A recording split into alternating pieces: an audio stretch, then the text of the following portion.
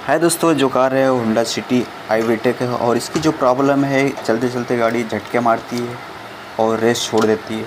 इस तरह से प्रॉब्लम है जैसे देख सकते हो, और डिस्प्ले पे चेक इंजन की लाइट है जो देख सकते हैं, इस तरह मीटर में चेक इंजन की लाइट कंटिन्यू आ रहा है, जो कि गाड़ी स्टार्ट है और स्टार्ट में देख सकते हैं कि रेस भी होता है कभी कभी और छोड़ देते हैं। स्लो स्लो छोड़ देता है या फिर एकदम से छोड़ देगा।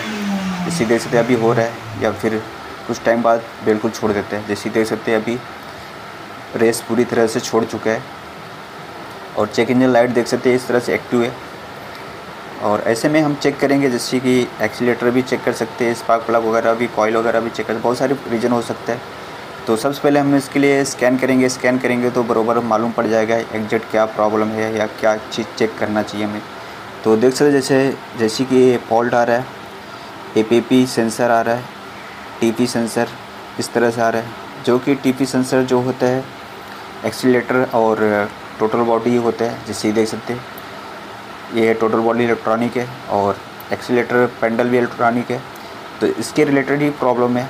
तो हम इसको पेंडल को भी रिप्लेस करेंगे जिसे देख सकते ये हमारे पास नया एक्सीटर पेंडल और इसको लगा के चेक करेंगे, जो कि बरोबर इसकी ही प्रॉब्लम है। और एक बार एसी लगा के चेक कर लेते, जैसे देख सकते रेस वगैरह हो रहा है कि नहीं, बरोबर। तो देख सकते इस तरह से।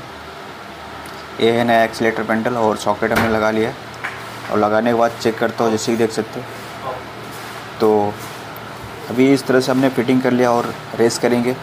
और जैसे कि रेस करेंगे, फिर इसके बाद तो देख सकते अभी हमने गाड़ी स्टार्ट कर लिया।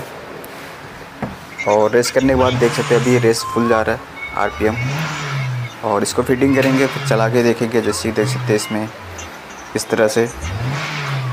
इसमें रेस बरोबर हो रहा है। और इसमें जो एक्सलेटर पेंडल है, उसके अंदर तीन नट है।